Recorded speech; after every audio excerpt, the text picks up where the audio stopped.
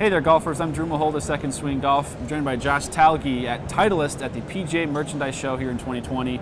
Uh, live from Orlando, uh, talking new Titleist Irons T100S, joining the T Series, which has been a fantastic so far for Titleist. Now, yeah, thank you.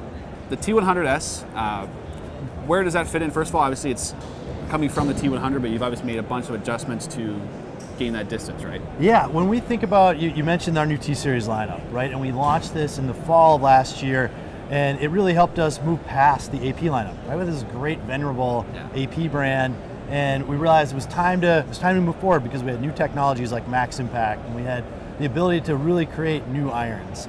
T100 took off right away, became the number one played iron on all the global tours. T200, our players distance iron's been doing great, but we looked at the market and thought, you know, in this players distance category, all the products look great, but they most of them have some sort of something behind the face. Yeah there's not that classic forged feel. And we're like, what happens if we take everything that people love about T100 and put that in a player's distance chassis? And we decided, let's not actually make the club look different, let's have it perform different. So we engineered T, uh, T100 to be two degrees stronger. No, okay. we didn't bend it two degrees stronger because when you bend, as you guys know, sure. you're going to start to get diggy, yeah. you start to mess with the offset. We wanted to preserve that sole, that turf interaction, and we wanted to make sure you've got the cleanest lines in golf. So what you're going to find is this T100S is going to play cut five yards longer than a classic T100. And now you've got something for that player who wants a player's distance iron that's maybe an emphasis on players, but yeah. still needs a little bit of help with that distance. So in terms of the shape, you mentioned it's almost going to be the same. It, it is exactly the same top line, exactly the same offset, leading edge, everything the same, engineered to help you get a little bit more speed than you would sure. from a classic T100. From a fitting standpoint, what type of golfer would probably fall into the T100 SIs? I mean, based on what you're telling me, it'll be you know a lot of different players. I would say anyone who's a, kind of a low double-digit handicap, and anyone in the single digits is going to absolutely love this golf yeah. club. It is incredibly forgiving for what it is, right? You're yeah. still talking about a very small package. We've got some game improvement irons right. we'll talk about in a minute, but this iron is is absolutely something we're thrilled to add to lineup. Yeah.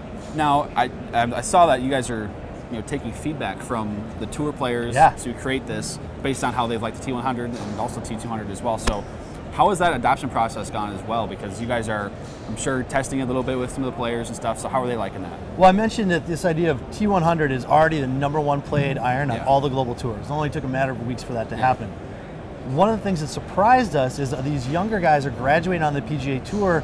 They immediately go see Aaron Dill, our, our yeah. wedge fitter, and they, Aaron came back to us. And he's like, I got all these guys asking for 44 and 45 degree pitching wedges. He's like, and I'm then looking through their bags, and they've got 32 degree or 33 yeah. degree seven irons, and that's just what they grew up using. Sure. And so we're going to see some adoption of T100S immediately on the PGA Tour, but you're going to see a lot more of it on the Corn Ferry Tour, and you're going to see a ton more in what we call like our next gen tours, whether it's um, NCAA college kids and, and juniors.